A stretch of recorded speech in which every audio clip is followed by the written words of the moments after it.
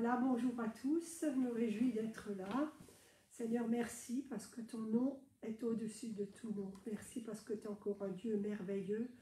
Aujourd'hui, Seigneur, tu veux nous parler par ta parole. Merci parce que tu inspires ta parole, Seigneur, qu'elle change nos vies, qu'elle nous transforme pour la gloire de ton nom. Amen. Amen. Donc aujourd'hui, le thème de, de ce que je vais vous emmener, c'est Enracinez-vous en Dieu. Jérémie 17, versets 7 et 8.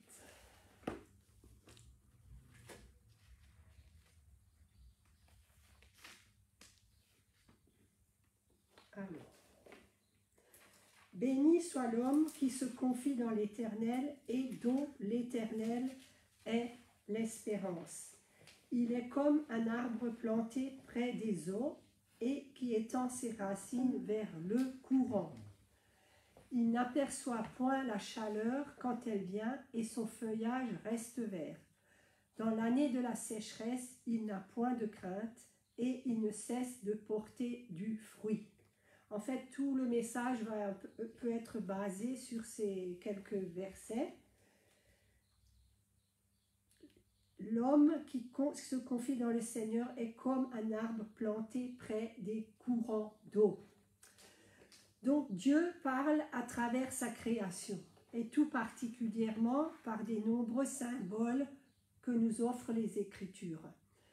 L'arbre, c'est tout d'abord le symbole de la foi, parce qu'on on peut voir ses racines, et nous aussi, on doit s'enraciner dans la parole. Celui qui met en Dieu sa foi et son espérance est protégé aussi par lui. Béni soit l'homme qui met sa foi dans le Seigneur, dont le Seigneur est la confiance. Donc cet arbre, c'est une, image, pardon, cette image d'un arbre planté près des eaux est aussi employée donc dans le psaume 1 elle présente de façon très expressive ce que doit être la vie chrétienne. Les racines d'un arbre lui assurent à la fois la nourriture et la stabilité. Proverbe 12, versets 2 et 3. L'homme de bien obtient la faveur de l'Éternel, mais l'Éternel condamne celui qui est plein de malice. L'homme ne s'affermit pas par la méchanceté, mais la racine des justes ne sera point ébranlée. L'homme de bien obtient la faveur de l'Éternel. Vous savez que la faveur de Dieu est sur vous. Et j'ai un petit peu étudié cette semaine la faveur de Dieu et je veux vraiment il faut que vous croyez que cette faveur de Dieu est sur vous et le Seigneur va se manifester dans vos vies. Mais la racine des justes ne sera point ébranlée. Vous êtes tous des justes ici. Et donc, si vous étendez vos racines, ben vous allez être stable dans la foi. Si le chrétien n'est pas affermi, donc enraciné dans la foi, il, risque d'être emporté par tout vent de doctrine. Ça c'est Matthieu 13, verset 21. Et aussi Éphésiens 4, le, le verset 11 à 16.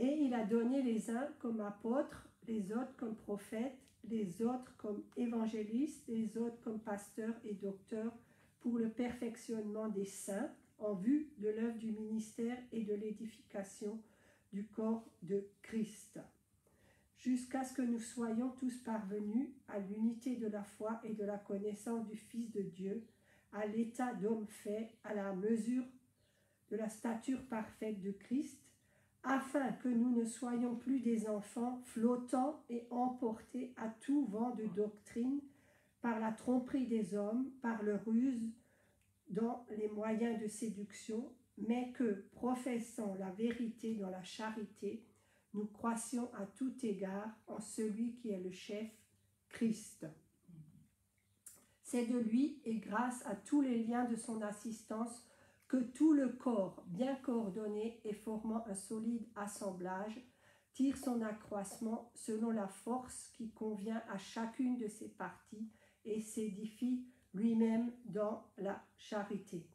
Donc, euh, on ne doit pas être flottant et emporté à tout vent de doctrine. Et en ce moment, il y a des vents de doctrine qui circulent. Ah Donc, attachons-nous à la parole de Dieu et ce que le Seigneur et le Saint-Esprit nous montrent. Il y a aussi ce verset dans Matthieu 13, donc le verset 21, qui parle donc euh, la parabole du semeur. Celui qui a reçu la semence dans des endroits pierreux, c'est celui qui entend la parole et la reçoit aussitôt avec joie. Mais il n'a pas de racine en lui-même. Et combien de gens, pour les mois, on a déjà connu, qui sont pleins de feu et de flammes, mais au bout d'un certain temps, leurs racines ne sont pas fondées dans la parole, eh ben, il manque de persistance, comme dit la parole là, et dès que survient une tribulation, une persécution à cause de la parole, il trouve une occasion de chute.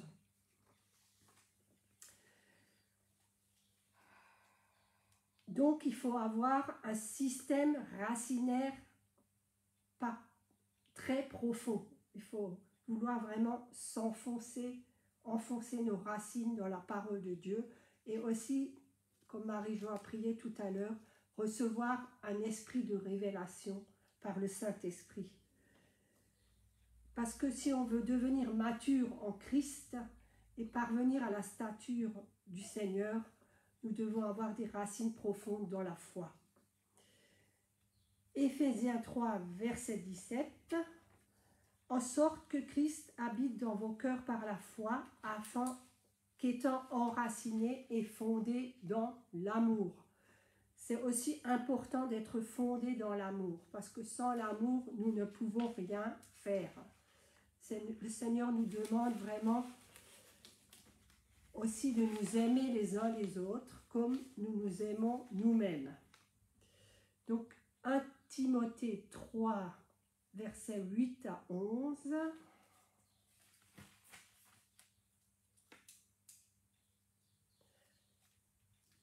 Les diacres aussi doivent être honnêtes, éloignés de la duplicité des excès du vin, d'un gain sordide conservant le mystère de la foi dans une conscience pure.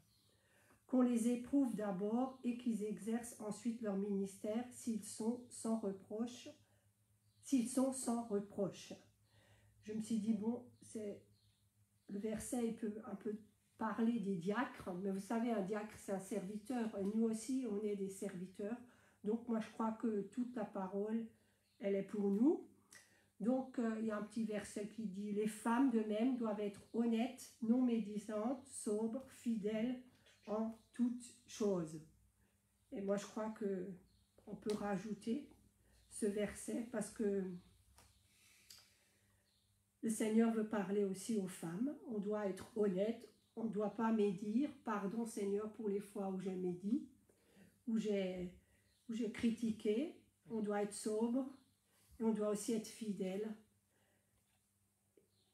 Merci Seigneur parce que tu nous aides à être vraiment des femmes de foi et à être enracinées en toi. Donc, un chrétien qui est faible, il peut tout simplement pas survivre dans les moments difficiles. Un chrétien qui est mature, lui par contre, il cherche davantage à s'enraciner dans la foi et la parole de Dieu, et ça chaque jour. Parce que si on ne fait pas quotidiennement, ben, on ne le fait pas un jour, après on ne fait pas deux jours, on ne fait pas trois jours, et vous sentez que, que vous vous affaiblissez dans la foi. Donc, quelques moyens pratiques pour vous enraciner plus profondément. La parole de Dieu, elle dit qu'on doit assister aux réunions. La Bible nous ordonne effectivement de ne pas abandonner notre assemblée. Je parle ici vraiment de l'Église avec un grand E, le corps de Christ. Hébreux 10, verset 25. N'abandonnons pas notre assemblée comme c'est la coutume de quelques-uns, mais exhortons-nous réciproquement, et cela d'autant plus que vous voyez s'approcher le jour. Ben oui, le Seigneur revient bientôt. Nous ne devons pas négliger l'assemblée parce que Dieu sait qu'on ne peut pas grandir tout seul. Nous avons besoin des uns des autres. Nous avons aussi besoin d'encouragement. Merci pour les encouragements que vous me donnez. Merci aussi pour le soutien, parce qu'on a besoin tous de soutien. Nous devons suivre le modèle des croyants plus matures et la manière dont ils suivaient Christ. Nous avons besoin de leur expérience, de l'adoration aussi collective, parce que c'est vrai que c'est beau de louer par Internet, mais c'est quand même autre chose de louer tous ensemble, réunis. Et je crois vraiment que ça a une puissance euh, forte et que le Saint-Esprit se manifeste. Et nous avons aussi besoin d'entendre, bien sûr, la parole de Dieu proclamée. Voilà, vous avez le droit de dire Amen. Amen. Amen. Amen. Donc nous avons aussi besoin de lire chaque jour et de prier chaque jour. Dieu est une personne et vous ne pouvez pas développer une relation avec une personne sans passer du temps avec celle-ci. La prière et l'étude biblique aident à avoir une conversation avec Dieu. Vous savez très bien que le Seigneur, il parle à travers sa parole et que vous lui parlez par la prière. Je dis toujours que ça, c'est la plus grande prophétie. Bien sûr, il faut écouter les prophètes, les vrais, mais je crois que ça, c'est la plus grande prophétie et que Dieu, il peut diriger vraiment nos vies par sa parole. Alors, chaque fois que vous entendez sa parole, c'est Dieu qui vous parle, mais il veut toujours que vous y répondiez. Parce que si vous répondez à Dieu, par exemple en obéissant, ben, c'est sa gloire qui va se manifester sur votre vie. Tant qu'on ne répond pas, elle ne produira aucun résultat. Si vous n'obéissez pas, par exemple, à la parole de Dieu, si le Seigneur vous demande de faire quelque chose, eh ben, elle ne peut pas produire du résultat dans votre vie. Et cette semaine, j'ai médité sur un verset qui se trouve dans Proverbe 2, verset 6. Donc c'est car l'Éternel donne la sagesse, de sa bouche sortent la connaissance et l'intelligence. J'ai dit au Seigneur, mais où est ta bouche? Enfin, où est la bouche de Dieu? Sa bouche, c'est la parole de Dieu, la Bible. Et si on veut mieux connaître Dieu, on doit l'étudier, bien sûr avec l'aide du Saint-Esprit qui nous donnera la sagesse et nous révélera aussi davantage l'amour du Père. Dieu est tellement grand, il est tellement profond et sage que chaque parole qui sort de sa bouche a un poids immense. Elle est chargée de vie, sa parole. Une seule parole a le pouvoir de nous nourrir pendant des jours et des jours. Et je me rappelle au début de ma conversion, le premier verset, c'était Tout concourt au bien de ceux qui aiment Dieu et qui sont appelés selon son dessein. Et vraiment, cette parole, elle a changé ma vie parce que je ne comprenais pas pourquoi mon fiancé m'avait laissé tomber. Ben, c'est parce que le Seigneur avait le mieux, le meilleur pour moi et qui voulait en premier que je l'aime lui et après me donner le mari dont j'avais vraiment besoin pour le servir. Alors on doit communiquer avec Dieu tous les jours et en passant, n'oubliez pas de faire aussi ce que Dieu vous dit de faire. Il n'y a pas de moyen plus rapide pour nuire à la croissance spirituelle que par un manque d'obéissance. Rappelez-vous, la désobéissance n'est pas seulement quelque chose de mal, mais c'est aussi de ne pas faire ce que vous savez que vous devez faire. Si vous n'avez pas grandi spirituellement et si la parole de Dieu n'a pas produit des fruits dans votre vie, alors vous avez besoin de labourer le sol et de vous enraciner.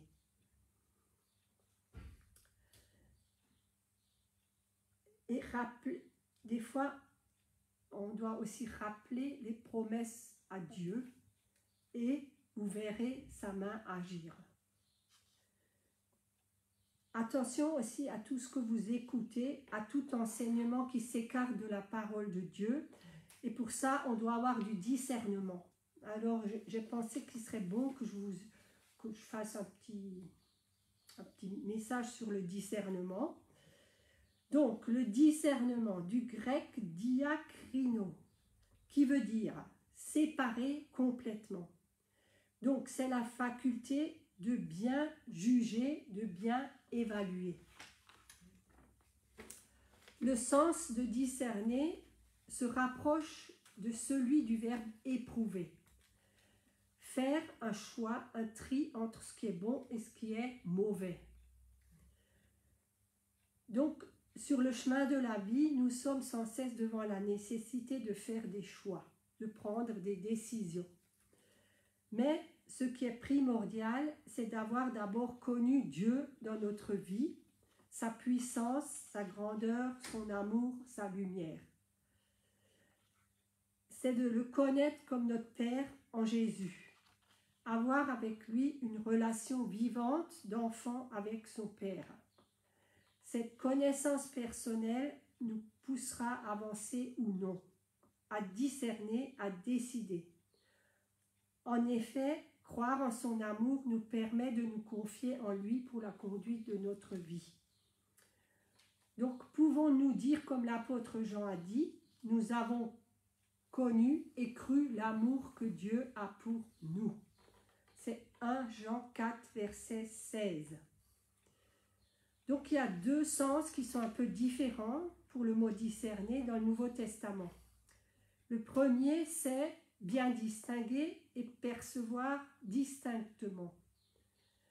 C'est au sens propre du mot ce que fait un chercheur qui cherche de l'or. Il retire de la terre, de la rivière, il met dans un tamis, il secoue pour rejeter le sable et il conserve seulement les petites pépites d'or, à moins qu'il en trouve des grosses. Mais si vous faites pareil avec la parole, euh, si vous étudiez la parole et, votre vie et vous enlevez les gros cailloux, donc vous êtes épuré comme l'or, il reste que l'or. Alors, ceux qui sont expérimentés dans la parole de Dieu ont les sens exercés à discerner le bien et le mal. Donc c'est Hébreu 5, verset 14. Mais la nourriture solide est pour les hommes faits, pour ceux dont le jugement est exercé par l'usage, à discerner ce qui est bien et ce qui est mal. Donc, on a des choses à trier. On a des choses à trier au niveau de nos pensées. On a des choses à trier par rapport aux propositions qu'on nous fait, par d'autres personnes, bien sûr, ou aussi on a à trier par des éléments qui surviennent dans notre vie et par rapport aussi à la réaction que nous avons vis-à-vis de ces événements. Donc le deuxième sens de discerner, ça veut dire examiner, scruter, éprouver. Donc à l'origine, ce verbe s'appliquait au changeur qui examine une pièce de monnaie pour voir si elle est vraie ou fausse. Donc il l'examine, il la scrute de plus près et dans, ses prières pour les Philippiens, l'apôtre Paul demandait ceci, que votre amour abonde encore de plus en plus en connaissance et toute intelligence pour que vous discerniez les choses excellentes. Le Seigneur a pour nous des choses excellentes, mais il faut qu'on discerne quelles sont ces choses. Alors, Philippiens 1, versets 9 à 11.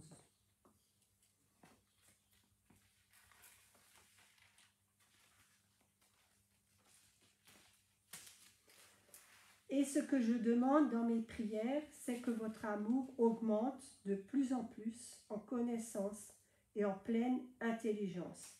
pour le discernement des choses les meilleures, afin que vous soyez purs et irréprochables pour le jour de Christ, rempli du fruit de justice qui est par Jésus-Christ à la gloire et à la louange de Dieu.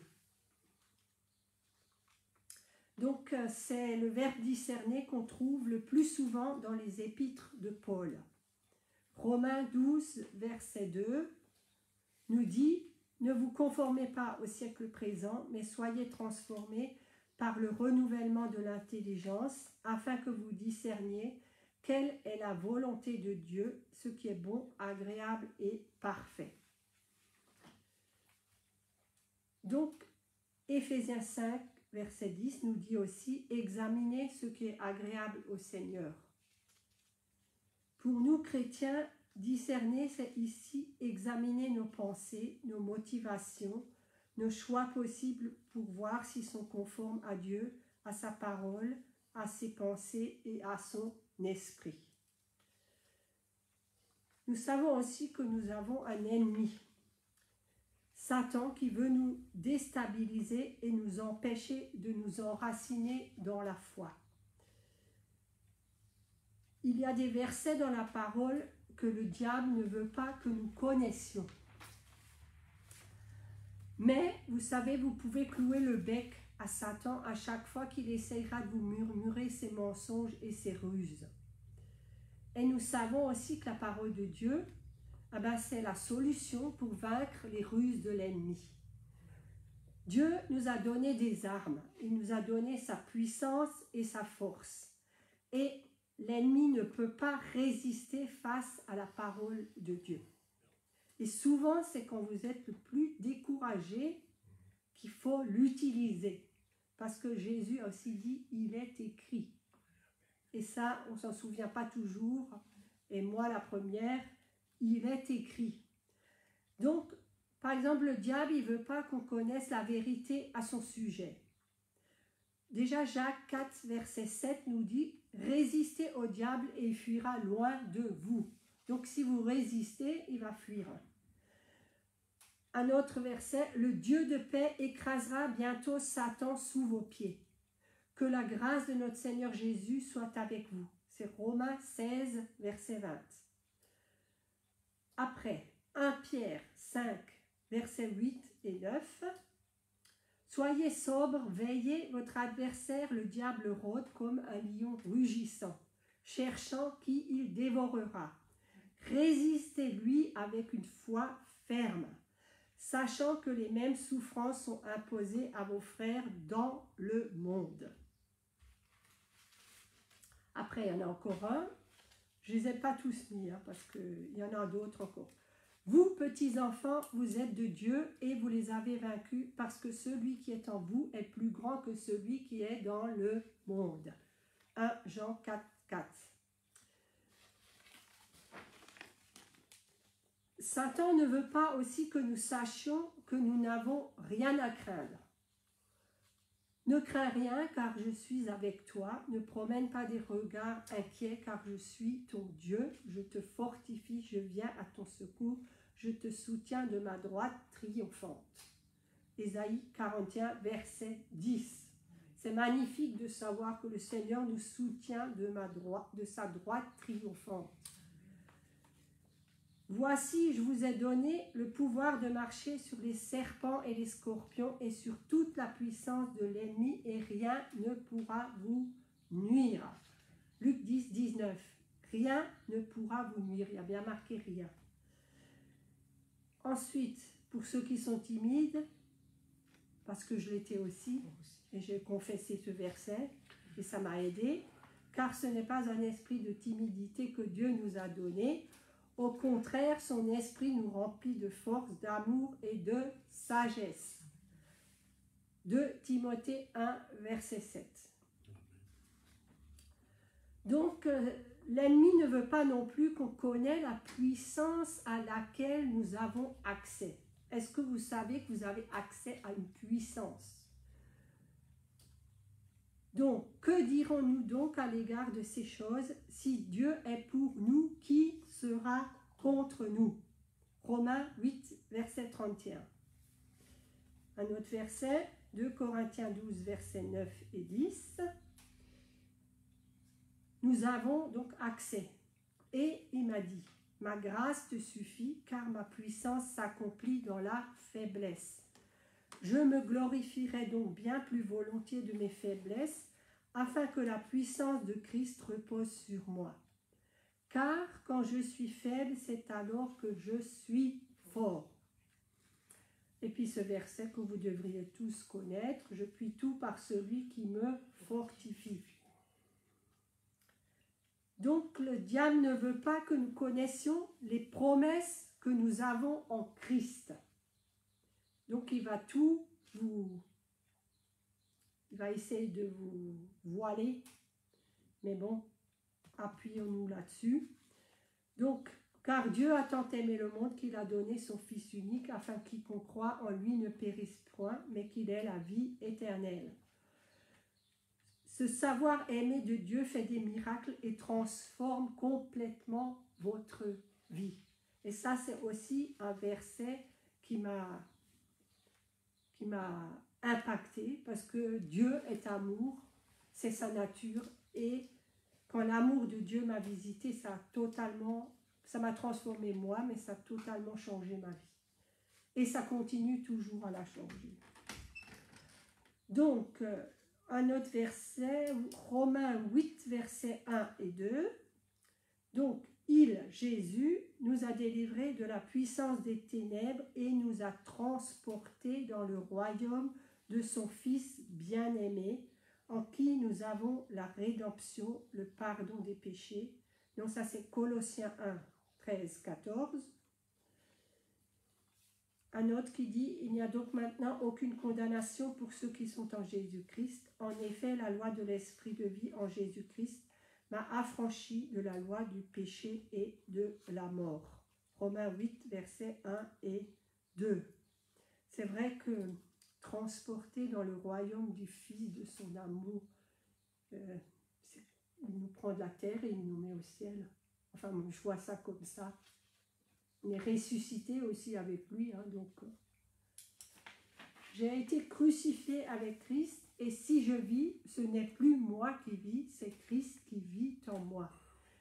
Si je vis maintenant dans la chair, je vis dans la foi au Fils de Dieu qui m'a aimé et qui s'est livré lui-même pour moi. Donc c'était Galates 2, verset 20. Si tu confesses de ta bouche le Seigneur Jésus, et si tu crois dans ton cœur que Dieu l'a ressuscité des morts, tu seras sauvé. C'est une promesse magnifique, car c'est en croyant du cœur qu'on parvient à la justice, et c'est en confessant de la bouche qu'on parvient au salut. Romains 10, versets 9 et 10. Jacques 1, 22 nous dit Mettez en pratique la parole et ne vous bornez pas à l'écouter en vous trompant vous-même par des faux raisonnements. Donc Satan ne veut pas que nous sachions qu'il faut récolter ce que l'on sème. Ne vous y trompez pas, on ne se moque pas de Dieu. Ce qu'un homme aura semé, il le moissonnera aussi. Celui qui sème pour sa chair moissonnera de la chair la corruption, mais celui qui sème pour l'esprit moissonnera de l'esprit la vie éternelle. Galates 6, versets 7 et 8. Après, il y a Matthieu 16, verset 26. Et que servirait-il à un homme de gagner tout le monde s'il perdait son âme? Ou que donnerait un homme en échange de son âme? Ben, un jour, on est tous confrontés à se présenter devant le Seigneur. Et qu'est-ce qu'on peut bien donner en échange de notre âme? Ben, Si on ne connaît pas Jésus, rien. Le diable ne veut pas que nous connaissions aussi notre avenir. Ne te réjouis pas à mon sujet, mon ennemi, car si je suis tombé, je me relèverai. Si je suis assise dans les ténèbres, l'Éternel sera ma lumière. C'est un verset qu'on lit rarement. Ah ben, ça se trouve dans Michée 7, verset 8. Je suis persuadé que celui qui a commencé en vous une bonne œuvre la rendra parfaite pour le jour de Jésus-Christ. Philippiens 1, verset 6. Jérémie 29, verset 11, celui-là on le connaît mieux, car je connais les projets que j'ai formés sur vous, dit l'Éternel, projets de paix et non de malheur, afin de vous donner un avenir et de l'espérance. Donc la parole de Dieu, elle met à nos dispositions toutes les armes dont nous avons besoin pour résister à Satan et pour détruire aussi ses œuvres. Donc il est donc pas étonnant que le diable ne veuille pas que nous connaissions tous ces versets de la Bible. Mais nous sommes armés pour vaincre et nous avons eu la promesse de la victoire. Donc euh, on revient à notre arbre, l'homme qui se confie en Dieu, un arbre planté près des eaux. Donc celui qui croit est invité à ressembler à un arbre près des eaux. Ainsi sa ses feuilles resteront toujours vertes et ça veut dire que son témoignage il sera toujours évident pour ceux qui l'entourent. Durant l'année de la sécheresse, et il faut souvent en traverser dans notre vie, il sera sans crainte et il cessera de porter du fruit.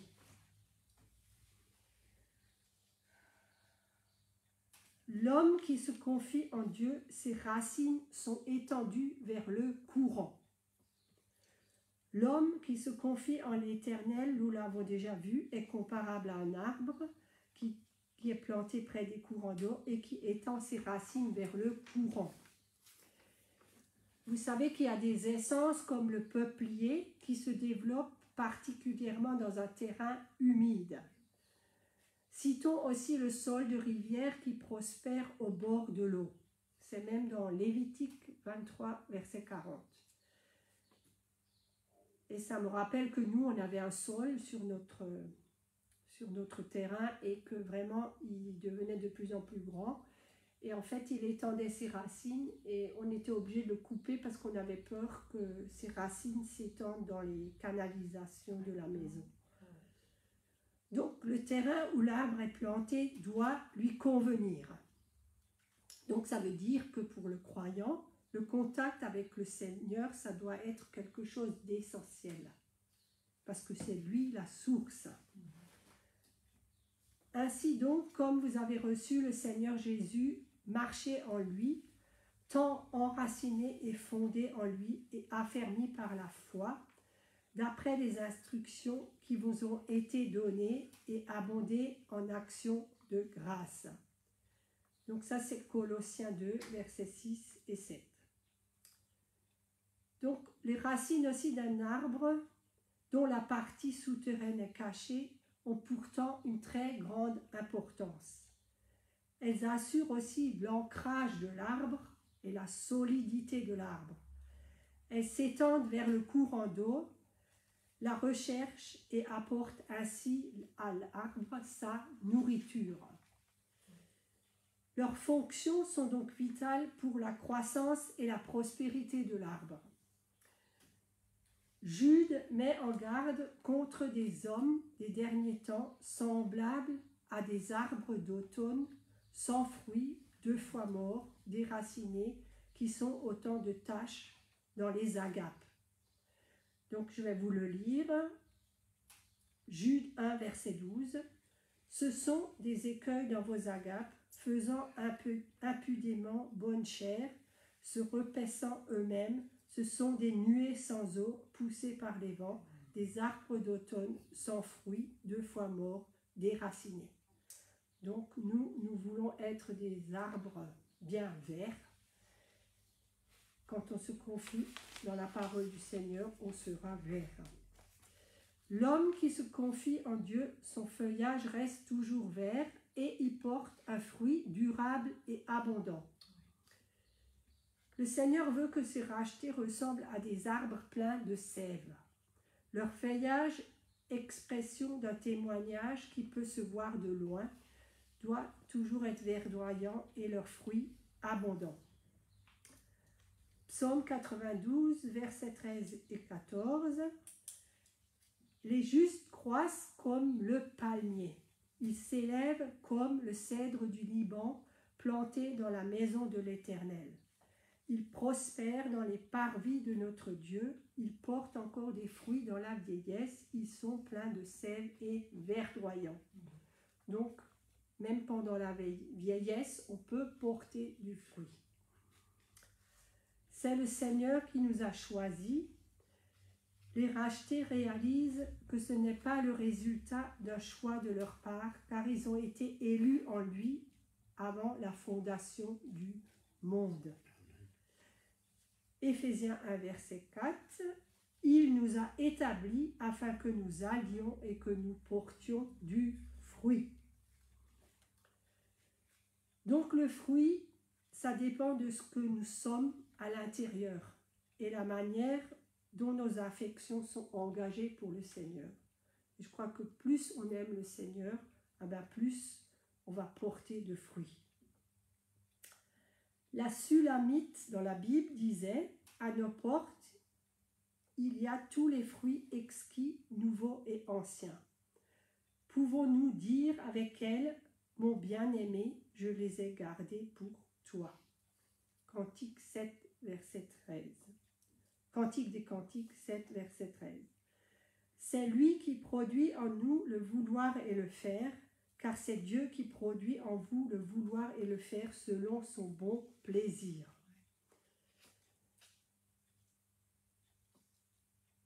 L'Écriture décrit le fruit d'esprit avec ses neuf grains exquis. J'ai bien aimé, j'ai bien aimé l'image, ces neuf grains exquis. Je sais pas, ça me fait penser à un raisin. L'amour, la joie, la paix, la patience, la bienveillance, la bonté, la fidélité, la douceur, la maîtrise de soi. Galates 5, verset 22.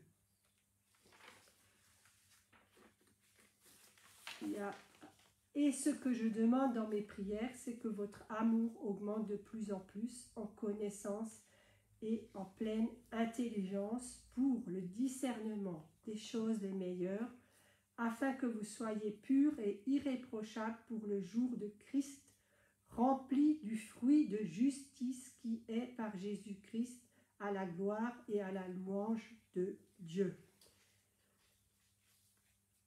L'apôtre Paul écrivait aussi aux Romains, mais maintenant, affranchi du péché et devenu esclave de Dieu, vous avez votre fruit dans la sainteté et pour la la vie éternelle.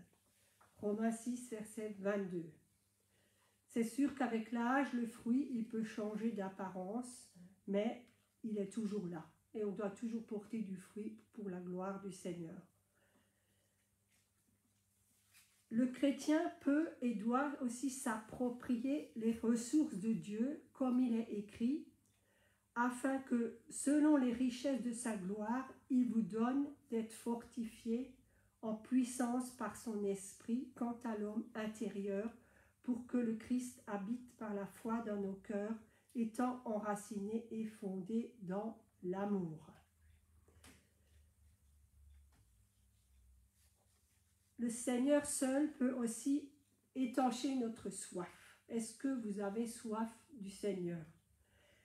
Il est amour et veut nous conduire continuellement. Il veut aussi désaltérer notre âme quand celle-ci, elle est dans la sécheresse. L'Éternel sera toujours ton guide. Il rassasira ton âme dans les lieux arides et il redonnera de la vigueur à tes membres. Tu seras comme un jardin arrosé, comme une source dont les eaux ne tarissent pas.